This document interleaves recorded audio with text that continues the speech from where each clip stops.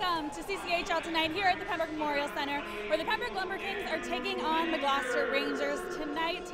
But first, it is Peter White night here at the Memorial Center. He is being inducted into the Hall of Honor tonight, so it's going to be really exciting. Jamie Bramberger is going to be mastering the ceremony in a few minutes.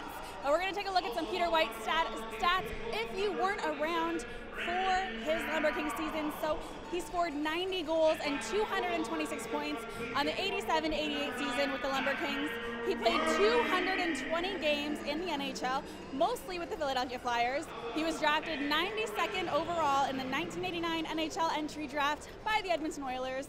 He played in two Centennial Cup championships with the Lumber Kings in 1987 and 1988. And Brian Downey, who was a teammate of Peter White, he scored 146 goals in two seasons with the Lumber Kings, and I'm hopefully going to chat with him later on in the game. I'm going to send it up to Josh Coleman, who is the PA tonight, and he is going to send it to Jamie. Center ice. We have a special ceremony this evening. We will throw it down to Jamie Bramberger in just moments. Prior to O Canada this evening, the Pembroke Lumber Kings are honored to be able to salute one of the greatest players to ever put on a Pembroke Lumber Kings uniform.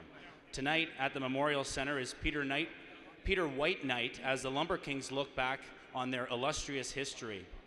Please direct your attention to center ice and join tonight's MC Jamie Bramberger, play-by-play voice of Cogeco Cable, and he will bring you some information on Peter. Thank you, Josh, and good evening, everyone.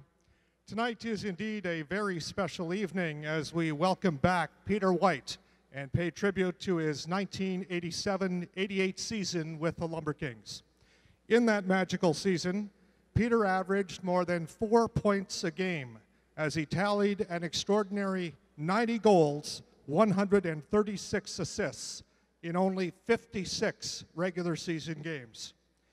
His remarkable 226 point season included 11 hat tricks and 17 two goal games as he shattered the league scoring record and set a benchmark that is unlikely to be broken.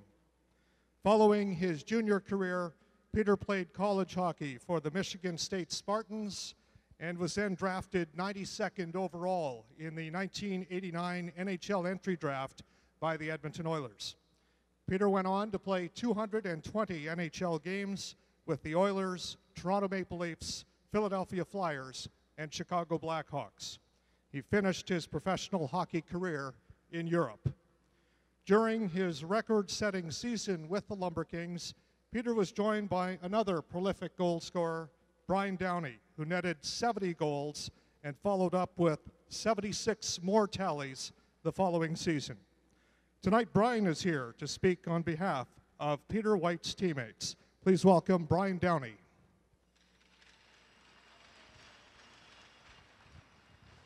Good evening. It's great to be back in this building again in front of all you fans. Um, speaking on uh, about Peter Peter White, they say he was a, a quiet person, but to tell you the truth, he led by example. Just like Steve Yzerman, Joe Sakic, he came to play every night. He was determined to win, if we were down by a goal, two goals, you can count on Peter to come out, make a nice pass, tie the game up, and the momentum changed, and we ended up winning. Um, our right, right winger, Jim Way, I wish he was here tonight to, to uh, be with us, but for that year to skate along Peter, along with Peter that whole year, it was, it was fantastic and it was, it was awesome. Thanks, Peter.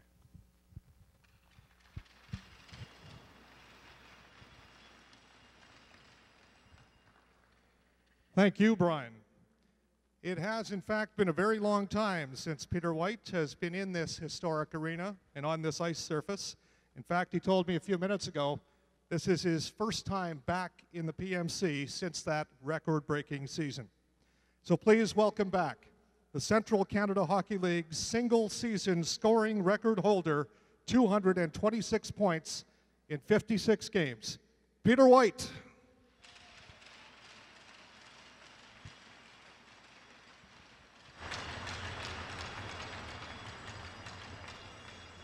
Uh, thank you very much. Uh, I'm going to make this short and sweet, but there's a few people I'd like to thank. Uh, I'd like to thank Dale, the Pembroke Lumber Kings, for having me tonight. Um, it's a huge honor, and I don't take this lightly. I mean, this is a huge, huge thing to have a plaque up here. There's so many great players that came through here, so uh, I want to thank you guys. Uh, I'd like to thank the fans, which I never really did when I played here. Sort of, uh, once I was done, I sort of left, so I never really got to thank for all your support. And uh, the people in the Ottawa Valley, you've been really great to me when I was here, so thank you. I'd like to thank my line mates, Brian Downey, Jim Way. They're great players in their own right, and uh, I know without them, I would not be standing here today getting a plaque. So I want to thank you guys. You guys are awesome players. And lastly, I'd like to thank my billet family, the Cochrans, Wally, and Boyd. Um, you're my billet family, but you're like my second family. So, you know, without you, I know I would not be standing here. So, uh, thank you very much.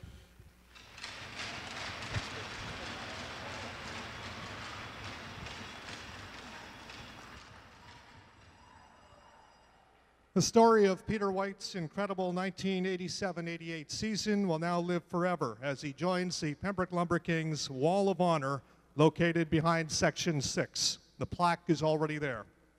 And now here to present a commemorative plaque that Peter can take home to his home in New Jersey is Dale McTavish, the owner and general manager of the Pembroke Lumber Kings.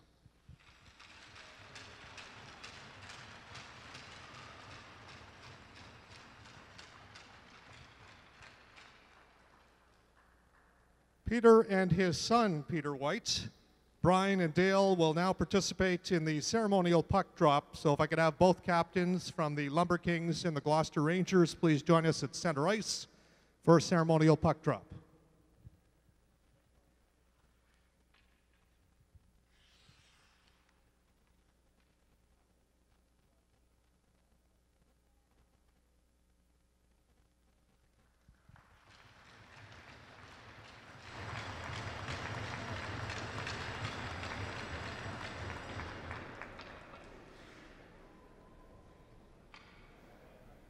Ladies and gentlemen, boys and girls, would you please